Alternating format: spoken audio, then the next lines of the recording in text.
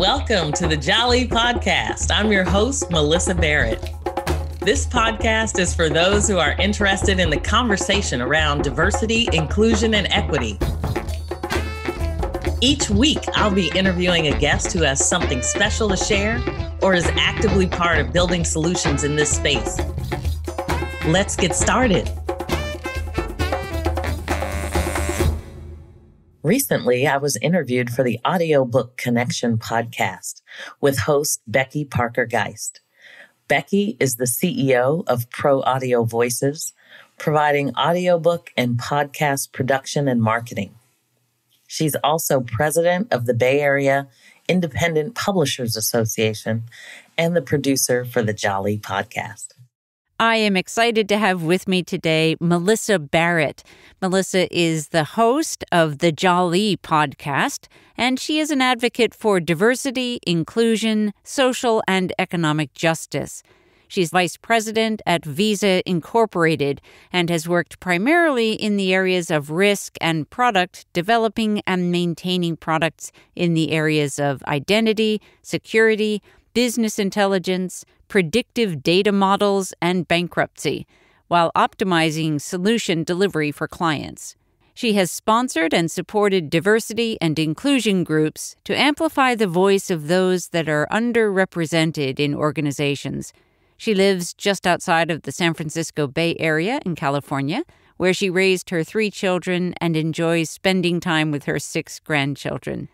Welcome, Melyssa. Hello, Becky. I'm so excited to be here. Hey, so I know that um, I'm, I'm just like to jump right in, but I know that one of the things that when we first started talking about your podcast was that you have a message to get out to the world.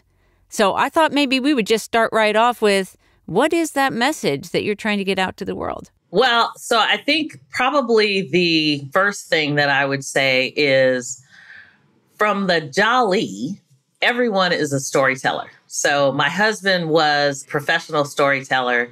He focused specifically his practice focused on African diasporan stories because right. they weren't being told. And so, one of the things, one of the main reasons that I really started the Jali podcast was to really start getting people to talk, to make people aware of stories that aren't being told, but to really highlight diversity, equity, and inclusion and the people that are that should be celebrated because they are in fact doing the work. Whether you're an author whether you're you know a corporate business person everybody's hands work differently but everything we do is really connected to diversity, equity, and inclusion. Like, no matter what business you're in, there is some element of it that you right. have to think about that you want to make sure that you're impacting the world in a positive way yeah. for everybody. Yeah. Oh, that's great. So it really is focused around the storytelling. Yeah, I mean, I think I always start with kind of like, how did you get here? What has your journey been like? Because I think that to me is so, so much of how we learn to share different experiences and then getting into how people are impacting the world with their work is kind of my my secondary focus. Yeah, beautiful. Beautiful. And, and why is that important to you? Melyssa? Well, I think I was raised, my father was always in the community working. And so my sister always says that I inherited his philanthropic kind of focus. And so to me, if you're at the table, you know, and we need to be at the table. If you're not at the table, right. pull up a chair, right? Then I just feel like, it, you know, if we're at the table, we need to be making the impact yeah. that we want to see and we have to advocate for ourselves and we you know we need to be be there i mean all of the burden is not on us but we need to be making sure that people understand our perspective yeah and this speaks very directly to something that I bring up on my podcast frequently because, you know, I'm talking to authors and other people in the audiobook industry. And, and I think that one of the most important things that we can get clear on early on is where we're going. You know, like what is our biggest goal with the work that we're doing. You know, as you said, you know, our hands are working in different ways. I, I love the way you put that.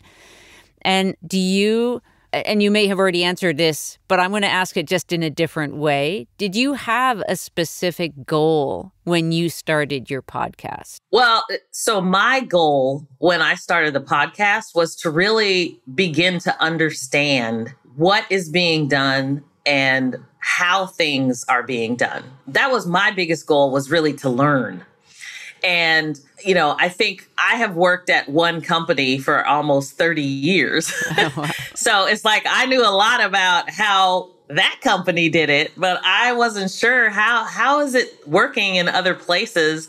Are they having some of the cha- same challenges that I've seen? Yeah. You know, and what are people doing about it? And so for me it was it was really my way of connecting with other industries, other people you know, whether they were CEOs or analysts or authors or speakers or whatever, there was all these different perspectives that I was just craving to understand more about what's happening in the world and how do we channel all of these, you know, perspectives and to get to where we really want to go. Because, you know, if you say the system is broken, what system are we talking mm. about and yeah. you know how how do all these systems work together yeah. so that is so cool uh, you know so often we think about podcasting as like uh, kind of the way I started out with you have a message that you're trying to get out there. And now, what you've really expressed to me is that you are engaged in a process of inquiry.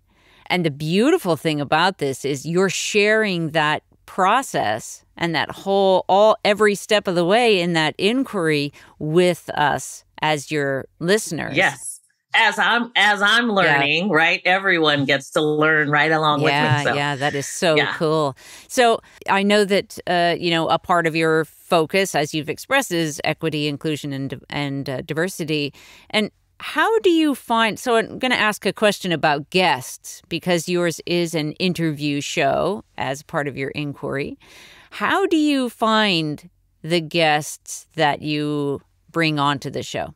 You know, that's an interesting thing because I think I started just by looking around me to people that I knew. Mm-hmm. And I think most podcasters find that it becomes challenging, right? Because you're you're always looking for somebody and then you go, "Oh my gosh, let me call my friend and, you know, I'll get them right. on." but for me, it was kind of like my experience and and I'm still experiencing it. It is the most phenomenal thing I have ever seen where the people that I'm talking to, typically I am just meeting so many new people. And then those people that I'm talking to introduce me to other people. And it is it is just profound the number of new relationships that I've had, the perspective and I mean just I have made some just phenomenal friends and I don't know if the fact that it's been during the pandemic that this has happened but now I've even had the opportunity for people that I haven't actually had the privilege to meet in person and we've forged a relationship. It's finally now that we're able to actually get together, you know, go to a restaurant, have dinner, and really kind of amplify the relationship even more. So, and there's, you know, I mean, there's just so much interesting work and, and things going on that I'm just excited about life in general. Yeah, that is really exciting. What a journey. Yeah. Do you have any like set of criteria for your podcast guests or who are you looking for? It, or or is it not that, you know, g- give me some insight into that world. Yeah, so as I think about social, you know, social yeah. impact, that is kind of one of the things that to me makes the most significant difference. So when we're talking about diversity, equity, and inclusion, yes, there are so many things that we should be doing to make people aware and awareness not only, you know, just externally, but an awareness that is a very personal journey for many people who maybe haven't been aware of things that they don't know or things that they didn't know were as bad as they mm. were. and so I think I think that journey is one piece of it. But for me personally, I'm trying to connect the dots to the social impact that actually needs to be made. And so most of the time when I'm looking for guests, I really want to hear from them their journey because typically their journey has some form of social impact in it. The authors, for example, that I have interviewed, they are impacting others as they go in a variety of ways, you know, whether it be going to the White House to visit Michelle Obama with a right. with a speaker or whether they are journeying from Africa, you know, one country in Africa to Washington DC as a a space engineer. Right. Yeah. you know, I mean, it, it's just amazing the the stories that we see in terms of you know how were people able to make those impacts and what did what opportunities did they have on their journey because of some company or some sponsorship that made it possible for them to you know experience that journey and so it's a lesson not only in how the people transition but along the way if there's a sponsor you know we talk about corporate sponsorships right. a lot but it's like they're not telling the story of the impact that it makes on people when they experience that. And a lot of times you won't know for maybe decades. Right. But the impact, you know, makes a difference. Yeah. That's really cool. So the the two things that it, it seemed like you really touched on strongly there, one is that individual story. And I love that because, you know, I think that probably most of us have this feeling that we are, you know, this, you know, just sort of struggling along or or whatever, but not even always recognizing the our own kind of milestone moments, right? Until we can look back on them. But hearing other people's stories and how, oh, wow, that thing happened to you, and that was, or that you did that thing and it ended up with this big impact is very inspiring. And inspiration yeah. is so powerful. And yes. then and then the second piece being about what are the systems that are in place that are having an impact and calling those into our awareness because I think also then, you know, if we are starting to recognize, oh, this program, that program, you know, that there are all these other things going on out there that, you know, if we're feeling like, oh, you know, the world's just going down the tubes, if we're listening to your podcast and hearing these stories, we're not only being inspired by others' stories, but also seeing or hearing that there are other things in place that are making a difference and, and that that's both inspiring and in, and can help us recognize what programs are out there. So anyway, thank you for all yeah, that. Definitely. Yeah. So in an interview, this is going to step into a little bit more on the hosting side of things, but in an interview, like how much do you prepare questions in advance and how much do you find yourself just kind of picking up on what your guest says and sort of riffing in, in a different direction? What would you say? So I would say I do spend time really kind of thinking about where I want to go, just more generally, but also just understanding their background and some of the things that they're doing. Mm-hmm. But I find, because I know there's a lot of podcasters out there that will send you tons of questions and you know they want you to prepare and that way you'll be you know maybe you feel more comfortable because you've already thought about the answer mm-hmm. and all of that i would say my podcast i prefer to just really be present and have a conversation with yeah. somebody and so while, you know, if they ask me for questions and I will give them probably, you know, maybe five or six questions mm-hmm. because I find that if you have four or five different questions, you have a longer conversation right. um, that can go deeper than if I give you, you know, 25 different questions to answer. Right. right. But what it what it allows me to do is really be present with them so that I'm not looking at my paper and going, wait, what's the next question I was going to ask?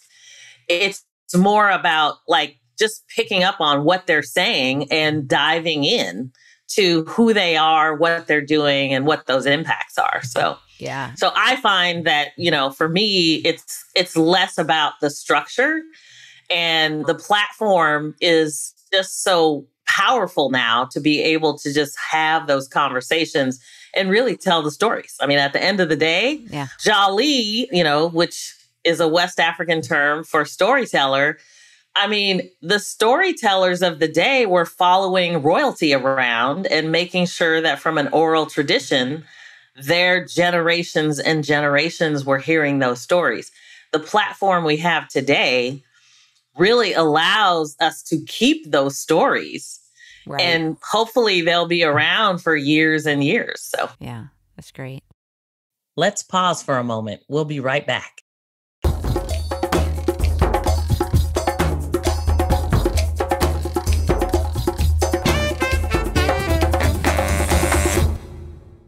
What would you say are some of the things that you've, if you just maybe pull out one or two things that you've learned from your guests in the, the process that maybe have been surprising or just especially inspiring? I don't know if there are there a couple moments you you can pull out that Oh my gosh, so many. well, that I in mean, itself is great. yeah, I mean, it, well, and it's what's fun about it is that the diversity of the interviews that yeah. I've had. I mean, people have been in public service, they've been in, you know, corporate positions.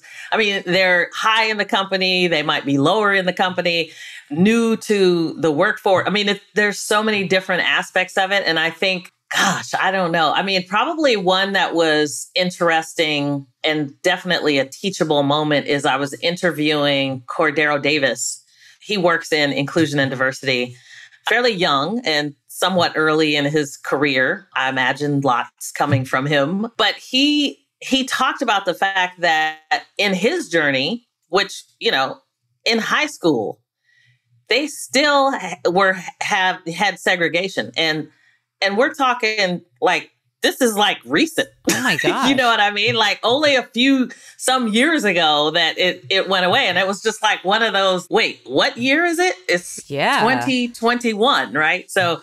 So that had to be one of the mo- one of the more shocking moments um, mm-hmm. because of you know he came from the south and you know they're obviously still struggling with lots of that but his his story was was very interesting and then i mean I keep going back to Monique Nelson, uh, who's the CEO of UWG.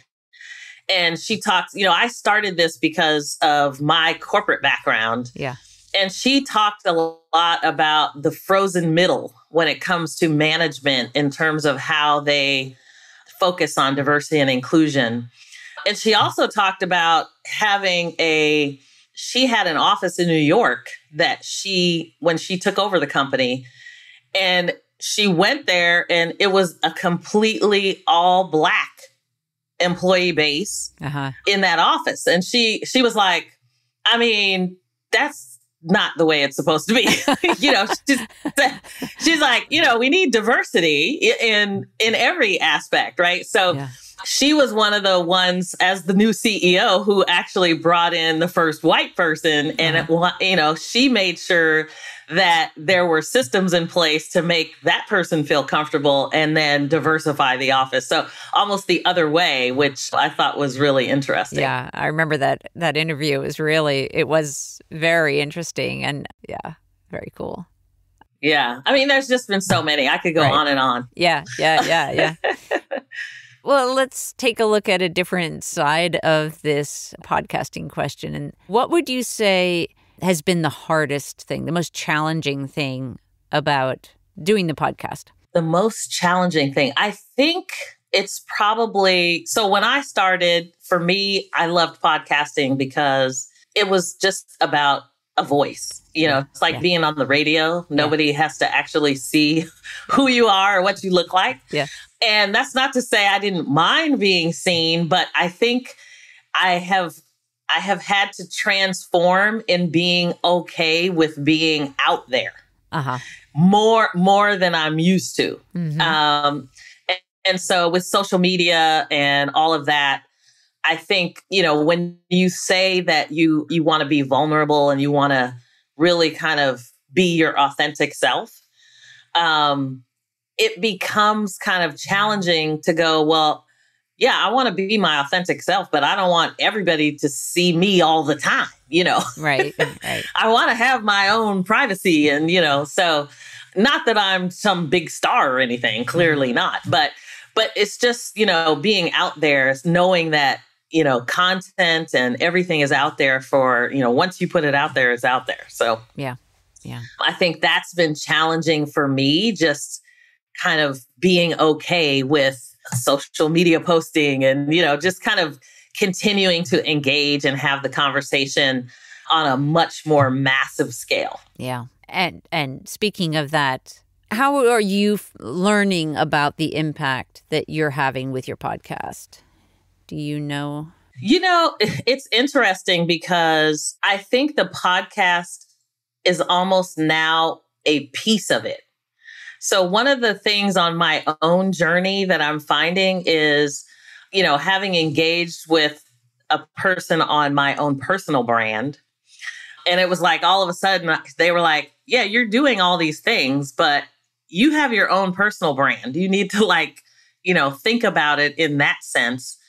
And then it was almost like the podcast is over here. And then there's, you know, all these other things that I'm doing that kind of fit together. And it, may be kind of eclectic. Right. Right. But it is who Melyssa Barrett is. so, so it, I think when I started kind of thinking of it that way, the podcast became a component of my product set, you know, and I come from the product area. So I'm like, okay, I have, as a person, I have all these different products that I'm trying to deliver. Yeah. Yeah. And I know that we've looked at analytics on occasion, you know, for your podcast. And I, I want to mention well, let me let me ask this. Uh, do you hear from people by email or in comments somewhere about your podcast? I mean, are you getting some feedback? Yeah, you know, so social media is wonderful because it does allow people to give you mm-hmm. comments and you get feedback pretty much right away. Um, whether uh-huh. people like something or not, you tend to see whether those hearts are hitting or not. So, I mean, it, it's nice, nice to, you know, and and friends of mine will certainly call me.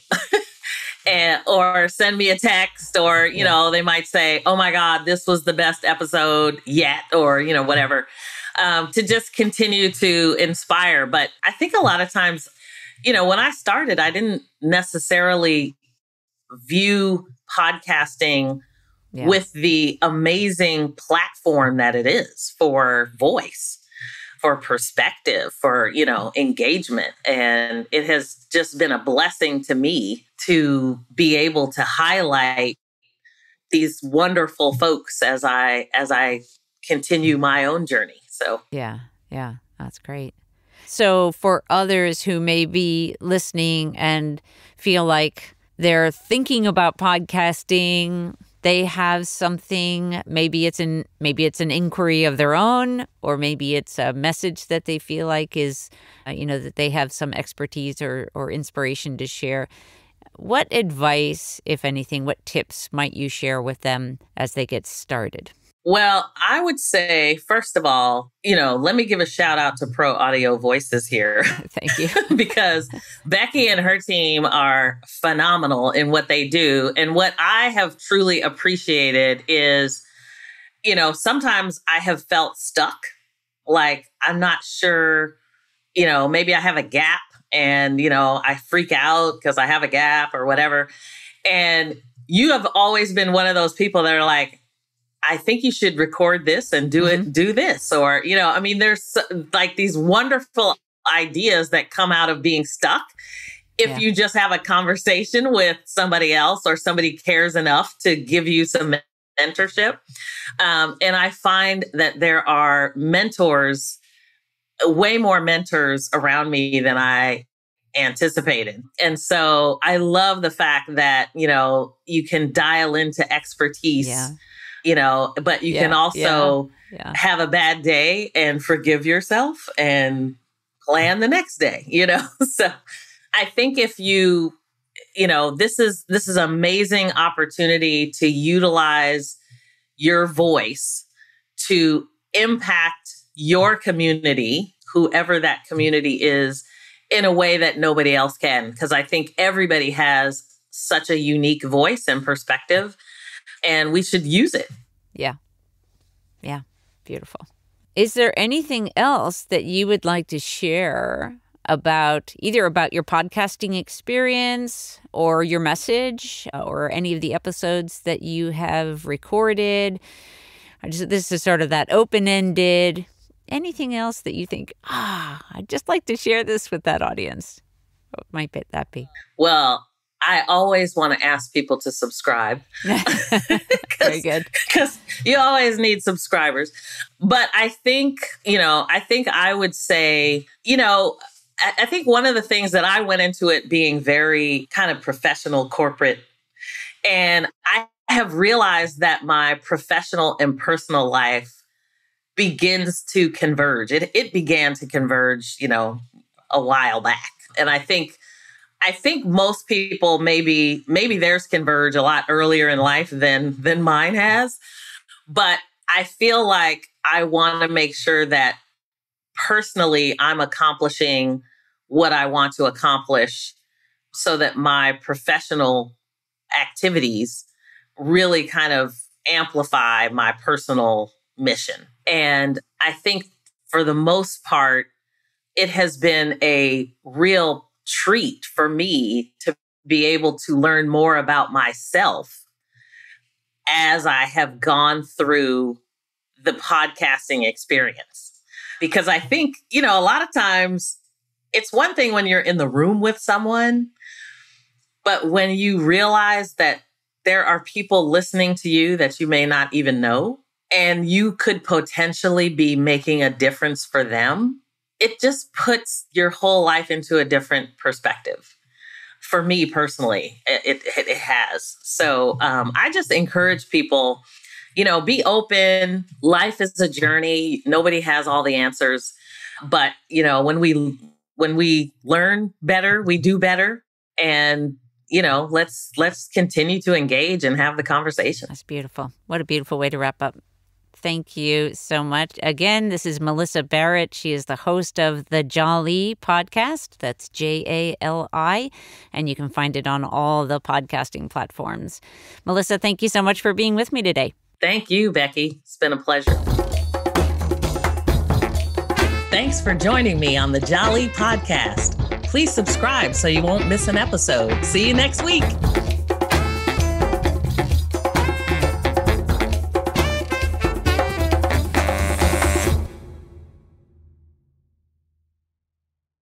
This podcast is a part of the C Suite Radio Network. For more top business podcasts, visit c-suiteradio.com.